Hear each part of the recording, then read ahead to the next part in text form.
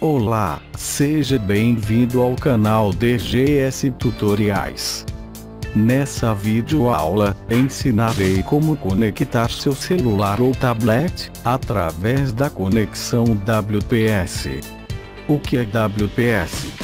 A maioria dos roteadores atuais possuem uma tecnologia chamada WPS. O recurso é a sigla, em inglês, para Wi-Fi Protected Setup. Esta ferramenta visa trazer mais praticidade e velocidade na hora de conectar novos dispositivos à rede Wi-Fi.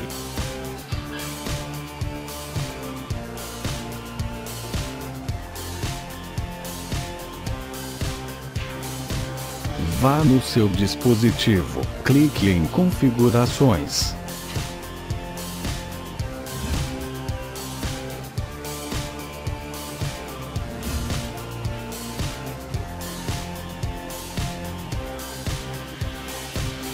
Toque em Wi-Fi. E toque no símbolo de duas setas curvadas, que é a conectividade WPS.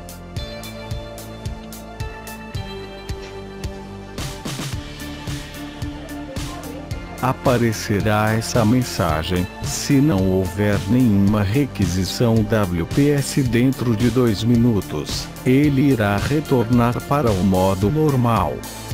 Vá para seu roteador.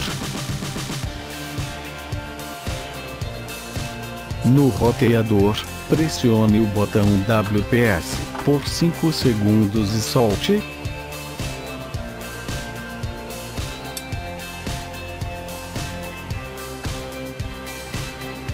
Toque em OK.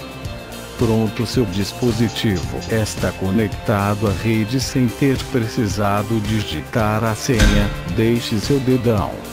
E se você não é inscrito, inscreva-se. E até o próximo vídeo tutorial.